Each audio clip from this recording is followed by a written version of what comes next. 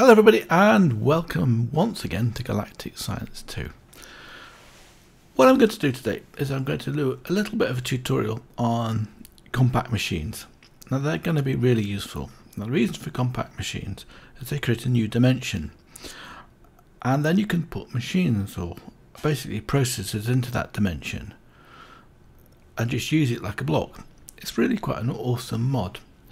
Um, also, while I'm going to do that, I'm going to demonstrate it with a little bit of crafting from uh, AE2. So let's go and do that first of all. What I've got in here is let's go on. Basically, what I want to do is to set up one of these.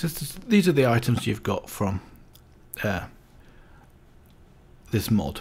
There's not that many items from compact machines. Basically, you've got different rooms at different sizes, going up from 3 by 3 to 15 by 15, I think, or 13 by 13. That one's a bit on the expensive side because it's using 8 nether stars. This one's not too bad, it's uh, diamonds. This should be obsidian, and this one should be gold, and that will be iron, and the last one will be wood. Like that. And in the middle here, you've got this world resizing cube. So what we're going to do is set up a crafting recipe for the world resizing cube, like this. So basically I shift click this, uh, then it'll bring everything in. That's at the moment it's processing recipes and what we want is, to is a crafting recipe. So we take that out of here like that and put that down there. So now I've got all of the bits and pieces I need I think. What I've also got in here is a move that out of the way because that was the that's the pattern terminal. This is the ME interface terminal, and this one basically allows you to um, find it, put your interfaces in without having to actually be there and do it. So let's have a look at molecular assemblers here. You see, we've got, I think we've got about 14 of them. So it should tell me how many I've got actually at the top. Yeah, I've got 14 molecular assemblers. And here are the recipes I've just done for the um, for the compact machines. So I've got four recipes for that now. So let's go now and actually put those down. What you can do with compact machines, I also want a wand. And I think any of these will do. This is an empty wand. This is a monster spawner. Be. So I want an empty wand. Basically, I'm finding these empty ones in uh, in dungeon chests. And if I look at my um, waypoints, I found quite a few dungeons around, as you can see. I think that was the same as this one, so same distance. But i will post the location of the dungeons in the description of the of the fit of the video.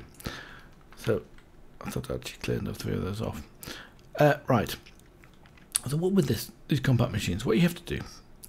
Let's put one of these rooms down. So I've got one room here, which was basically just diamonds around that resizing here. And then you can go inside it. But you can't go inside it with just right clicking. You have to use this personal shrinking device. Now this is expensive in this mod pack. I don't know why it's so expensive because it does, this is something you should be using right from the beginning of your base and not from like a tier 3 thing because this is a steel machine hull and those are seriously expensive. It's also seriously expensive in terms of power on this one. It's only what 1.6 billion RF to make one of these things but it's fairly straightforward anyway once you've done it. We've done steel hulls before, so I'm not going to go through that process again.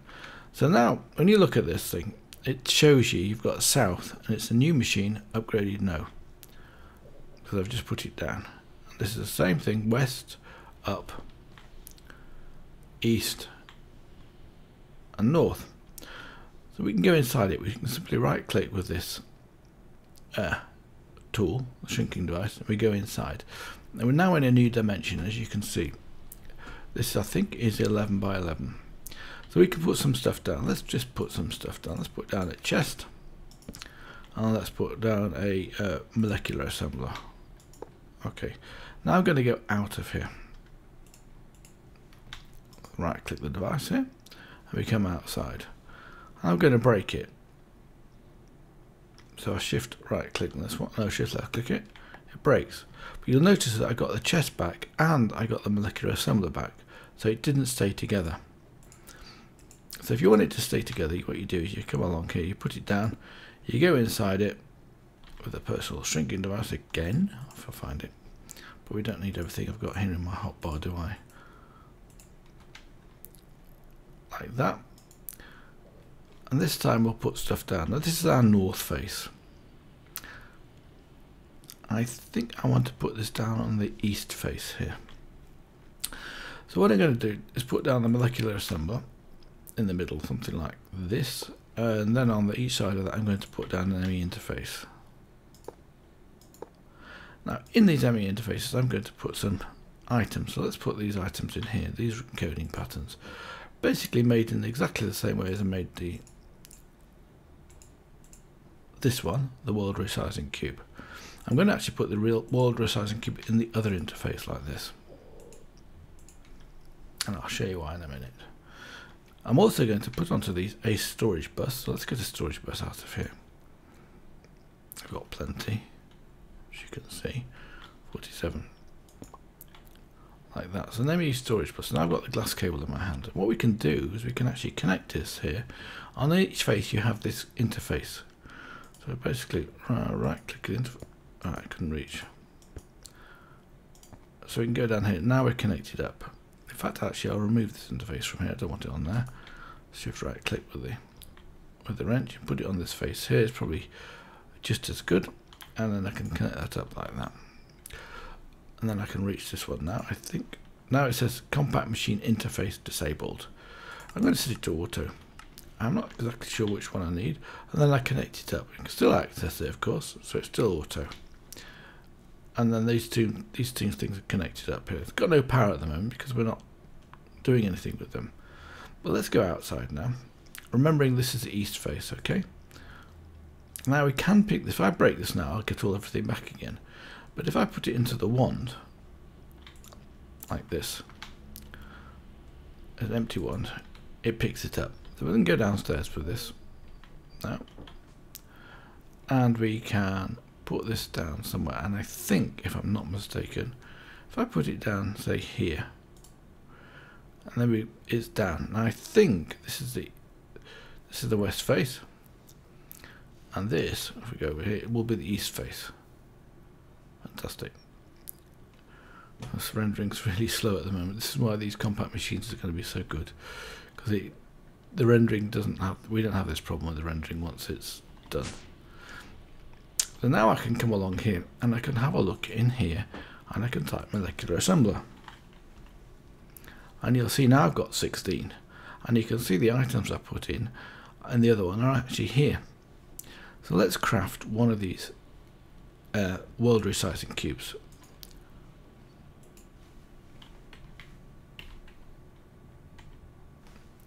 so let's craft one of these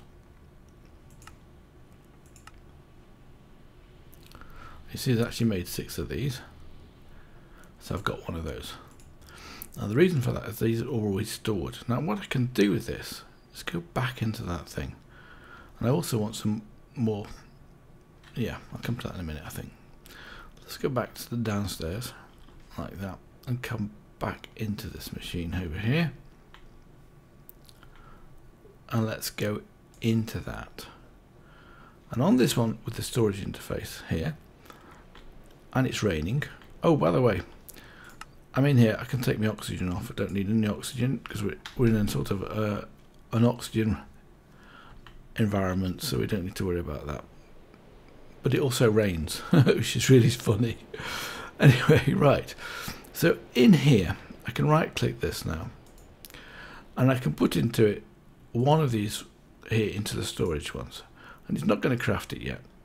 If I put it down like this, I'm going to use this one and then put a crafting card in here. It's automatically going to craft one of these like that. It's automatically crafted it and come in and it's stored here. So I've always got one zero world resizing cube available. And these two are also these three are also automatically crafted. Now in here it's a good idea to make sure that you've got your pattern in a different uh, ME interface than where you're storing it. Because if you don't have some things, there's a bit buggy and things go wrong let's put my oxygen back in the oxygen mask back on again. So you can actually spend a long time in here preparing this stuff up here. On the other face here, what I'm going to do is another demonstration. You're not limited to just um, A. You, you've got all sorts of different things with this mod. So let's do it on the west face here.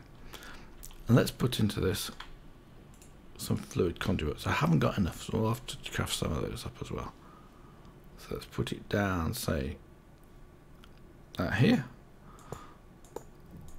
I've got run out, but I'm going to put two tanks down here. Like that, I think. Yeah, that'll do. Don't need this with me yet. Let's go outside and let's set up another crafting recipe now because I would like some more of these fluid ducts because I'm always running out of those. Right click that and out we go. Up we go. Oh, by the way, the reason I'm doing these sort of semi-tutorials is because scrap, which I need for uh, UU matter, takes forever, and you can't speed it up very much. It's it's power dependent, so the more power you've got, the more the faster you can make scrap, and that's it. And we've got a lot of power. I could increase the rate by making more of these, but or yes, by making more lasers and putting lasers on there. Generally, I don't want to do that because this is actually the this is the part of the, the pack that's a bit of a drag, really. Anyway, so while I'm while that's going on, we're doing a few other bits and pieces. So what I want to do is to set up an auto crafting recipe for ME conduit uh, for EnderIO conduit, don't I? So let's look for EnderIO conduit. and there it is, the fluid conduit. I'm not using the pressurized fluid conduit. I probably could do. What's the recipe for that? Fused quartz. And this one is just quite clear glass. We'll use quiet clear glass and some binding. So I can shift right click this like this. And then I've got the recipe. So I basically put take this out, put the recipe out here, put this into a, one of the molecular assemblers. One one. If I put it into that, those will be the ones I might put it down here somewhere like this. Let's put it down here. Like that. And then we can craft some more. So come along here, now we want some conduit. And I'm going to make about 16 of these. Actually, let's make 24. Because I noticed there wasn't very much binder. So now it's basically it's got some binder to make conduit binder. I've also got the recipe for that, and I've also got a recipe for the binding, uh, which I can't see at the moment. Control O, the binding composite. So that's all already available. And that'll make uh, 12 of these. It'll make eight, and then we can basically put the glass together. Let's start that, and that'll process, and we'll get some more already done. Look at that, really fast as it happens in this case. Let's put that back on, back on again.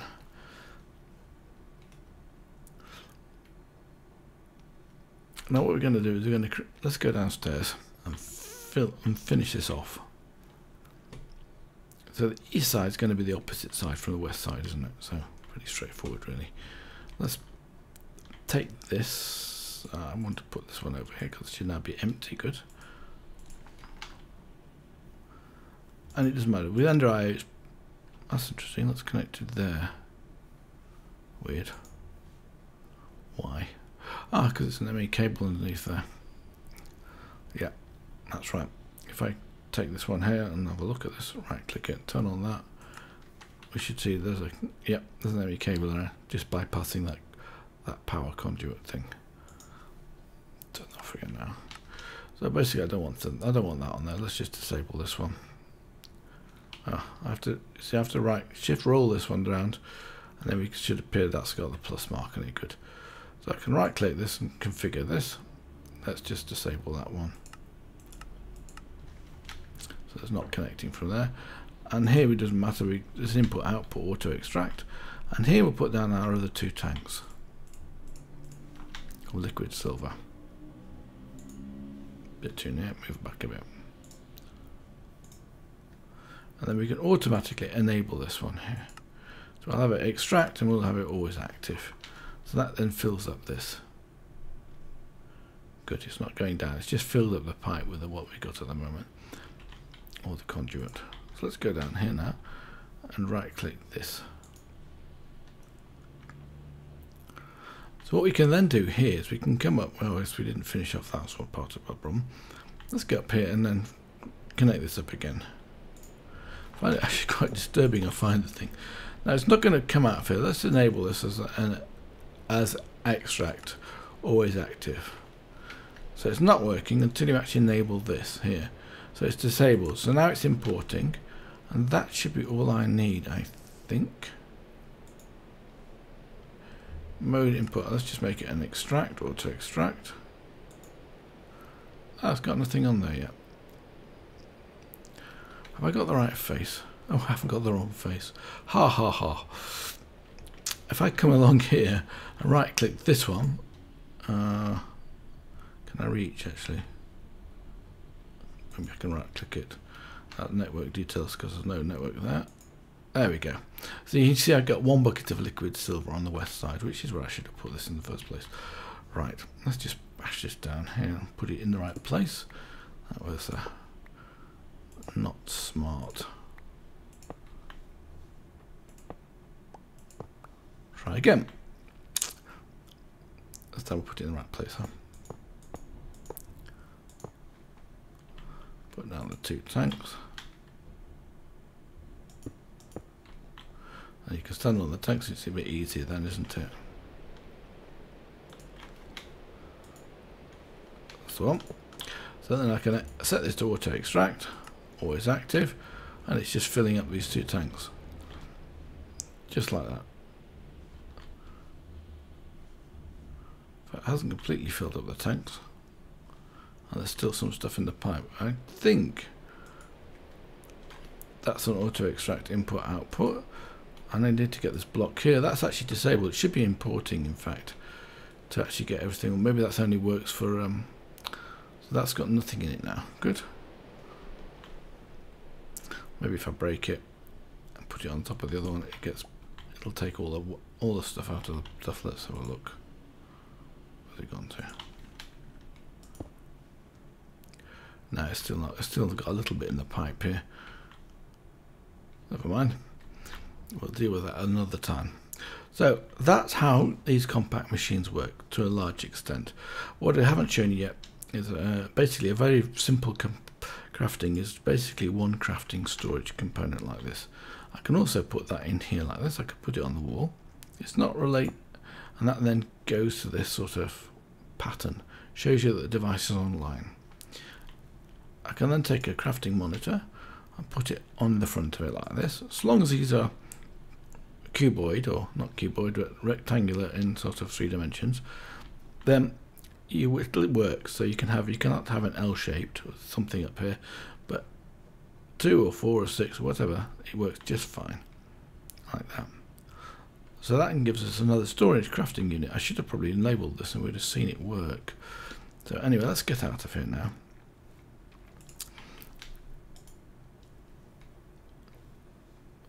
Because the see that's now no, that's empty now, so everything's gone out of there.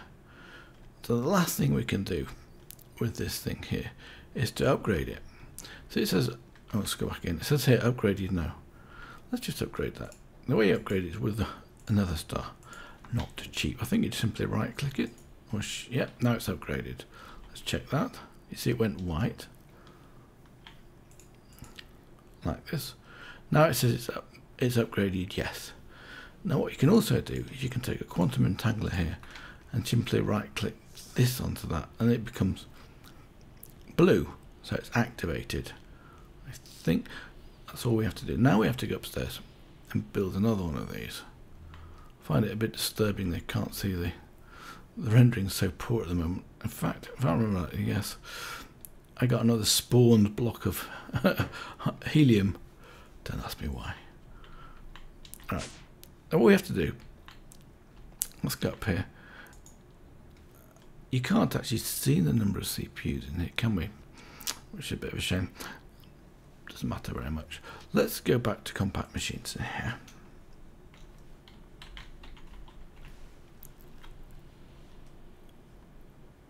And we need to make another one of these giant ones, because that's a giant one. That was made with diamonds, like that. We need another nether star. Fortunately, I made a few of these in the, in the last episode. Let's put this down here, like that.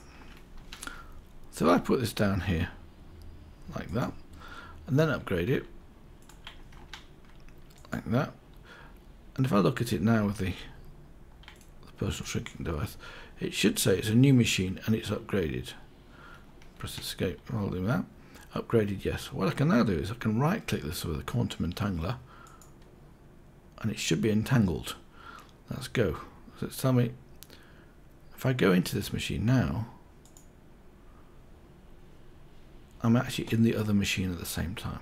So those two machines are now linked, which is rather nice, isn't it? So you've basically got multiple ways to travel around. cool. So you could probably use those as a sort of a very fast way of teleporting around the bases, which is pretty awesome. That basically concludes this. There's, I don't think there's anything else we need to basically do. The rest of it is the only thing I could do is to set up a processing recipe. But I've done loads of those in the series, so if you want to find the processing recipes, this is actually for Bob Joe. Just look at, check the episodes. Anyway, let's go and do something else. One thing I would like to do, I actually got that from the world resizing cube, so there must be another world resizing cube in Oh, it's not available. That's strange.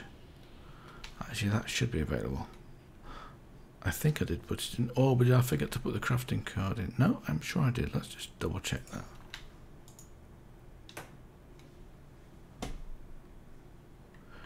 Think that's in this one. I've got the pattern. Ah, it hasn't actually quite worked. My storage must be a bit full at the moment because this should have come out of here and it would have then have made space for that. So could put that there like that. And there we go. I think that does sort itself out, but it takes a while. I'm not sure if I have to chunk load the inside of these yet. Maybe I do. In which case it's no big deal, because if I press F9, I hope that we don't see any chunk boundaries in here at all. We don't. So we should be able to simply put down a chunk loader. I think we need to chunk load the outside, but that's already done because we're in a different dimension. And in here I should have a spot loader. A spot loader will be just perfect for this because it'll load the, the chunk it's in. So I'll put it anywhere I like. I'll put it in the middle here. Right click on that because I'm not going to use the underside of this. Let's get out again. Right. The next thing we're going to do, we'll have a quick look at the base and we'll go and go for a, uh, a dungeon hunt. There we go. I'm turn on the glider. Oops, did I turn on the glider? Yes, it is. Oh, the other thing I did is move the, the heads-up display from the Draconic uh, uh, Evolution. That's easy enough to do. You press the button. I pressed. I've done I for my uh, opening up this configuration thing, and you can basically take this now and you press that button and you can drag it. So maybe here's a, there's actually one here already, and I don't see that coming up. Let's put it down there. It's out of the way as well.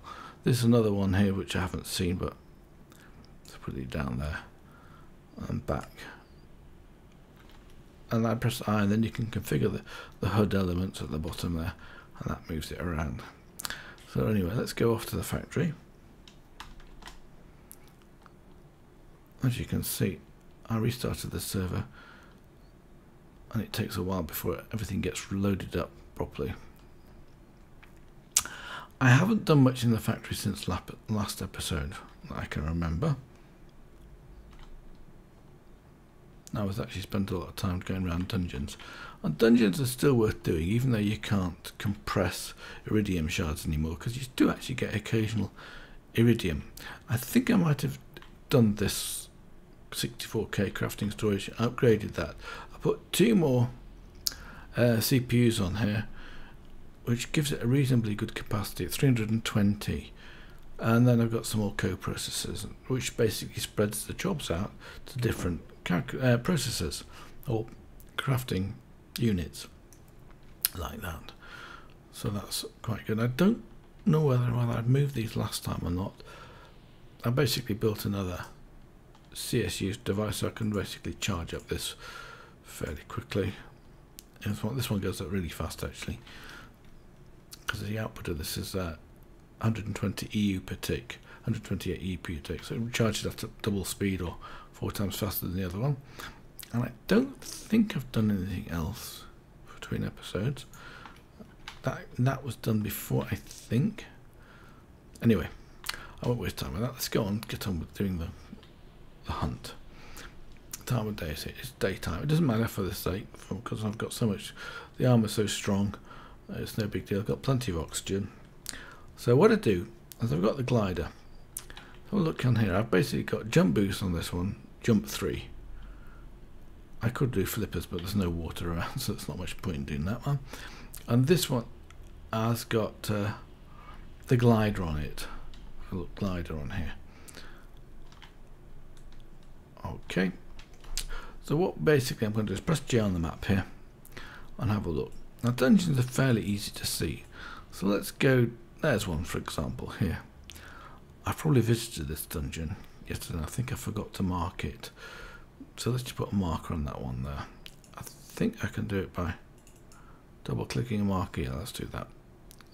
And that will do. Does it need, oh, it needs a y coordinate. Let's make 26 because that seems to be the base of that and save that.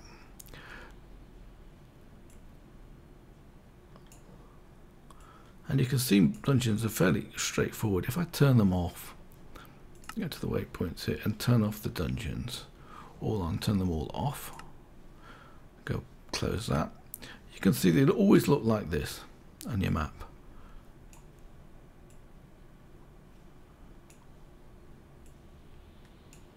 where have they gone to? There must have been one or two up here. There's another one there, for example.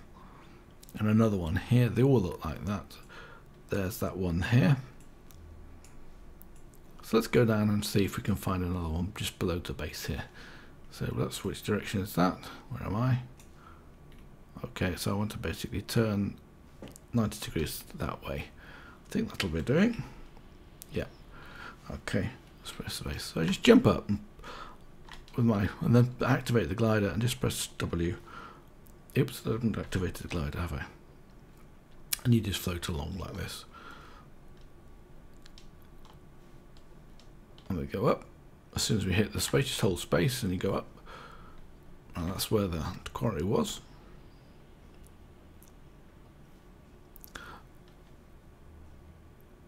As you can see, it's coming rendering itself slowly, but I tend to use the mini map as much as anything else to when I'm travelling.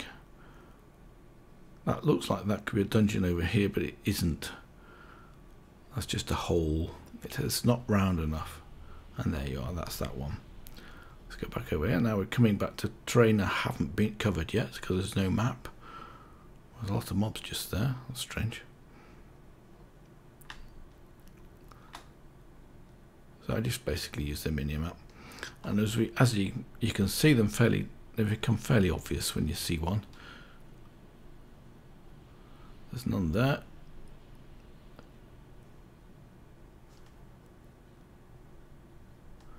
I'm going to go around these blocks in and I reckon it'll take about two or three minutes before we find one go down south as soon as I get near to the ground I press the space hold the space bar down. I don't need to worry about lava or anything like that because on the moon. And they're fairly random, the, the locations of them of the dungeons.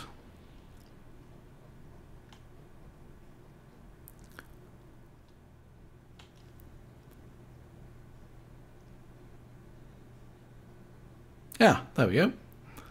There we go, there's one. Turn off the glider. Let's just go down here. Make sure we've got the sword in the hand. Because there's usually mobs around here at the beginning. So, in fact, what's best thing to use the, there are our pickaxe. We can put one of those down there, one of those down there. That, that's basically it. Let me just go around here.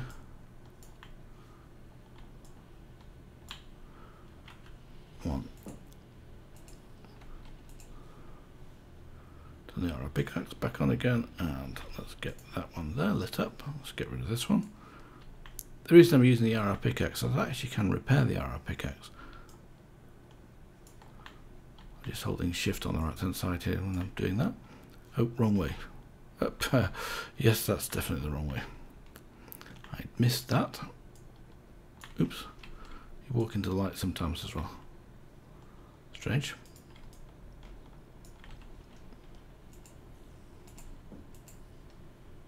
So there's usually one on the right hand side here like that. It's just zombies.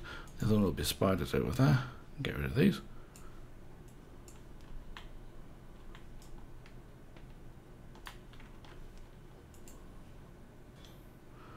I'm getting shut up our skeleton. Let's just light it up get rid of the skeleton.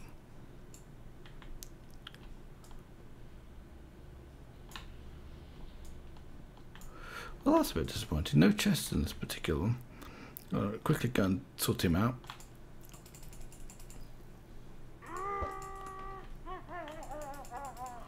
Where's he gone to? he throws you on lathers. I'm missing him.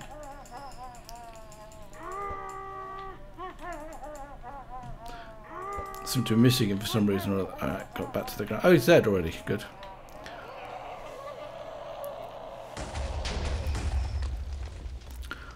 Right, and he gives me the key. Let's put the key in here. You always get a yellow heart, which is a bit of a shame because there's no use for that. And that's down through here. Let's put the torches back in. Take the key out. Open the box. See what we got. See, we got three iridium ores, so that's well worth doing in this particular one. Doesn't matter about those. I've got a moon buggy. And that's a rocket too.